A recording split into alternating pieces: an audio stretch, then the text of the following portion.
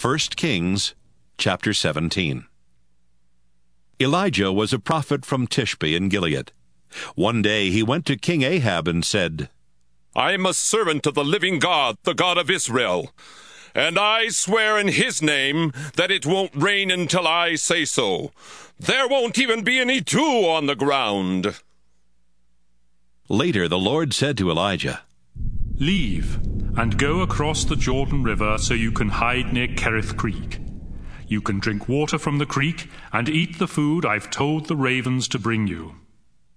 Elijah obeyed the Lord and went to live near Kerith Creek. Ravens brought him bread and meat twice a day, and he drank water from the creek. But after a while it dried up because there was no rain. The Lord told Elijah, Go to the town of Zarephath in Sidon and live there. I've told a widow in that town to give you food. When Elijah came near the town gate of Zarephath, he saw a widow gathering sticks for a fire. Would you please bring me a cup of water? He asked. As she left to get it, he asked, Would you also please bring me a piece of bread?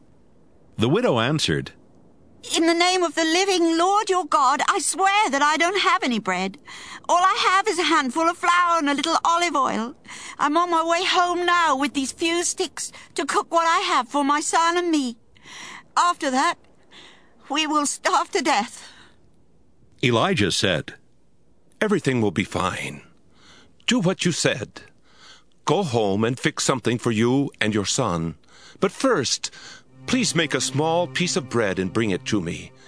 The Lord God of Israel has promised that your jar of flour won't run out and your bottle of oil won't dry up before he sends rain for the crops. The widow went home and did exactly what Elijah had told her. She and Elijah and her family had enough food for a long time. The Lord kept the promise that his prophet Elijah had made, and she did not run out of flour or oil. Several days later, the son of the woman who owned the house got sick, and he kept getting worse until finally he died. The woman shouted at Elijah, What have I done to you? I thought you were God's prophet. Did you come here to cause the death of my son as a reminder that I've sinned against God? Bring me your son. Elijah said. Then he took the boy from her arms and carried him upstairs to the room where he was staying. Elijah laid the boy on his bed and prayed. Lord God, why did you do such a terrible thing to this woman? She's letting me stay here, and now you've let her son die.